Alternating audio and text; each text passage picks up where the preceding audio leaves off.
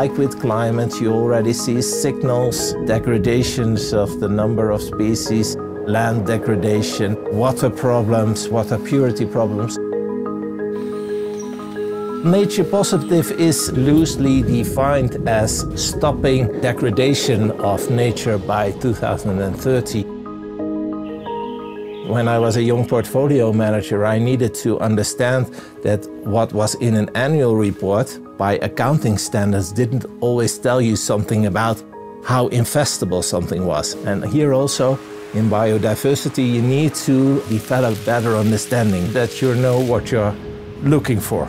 And in biodiversity, there's still a long way to go to develop these standards. If you look uh, at biodiversity, you can approach it from very different perspectives. You can approach it from a DNA level, from a species level, from a landscapes level, from a country level, from even a continent level. So there's so many perspectives, but you need to integrate that with the investment knowledge we have. I think you should always try to diversify your portfolio of ideas. There's many initiatives out there that are promising some technology solutions to try to capture carbon footprint we are inspired by someone who looks at the landscape level and see how the system interacts, and that is promising.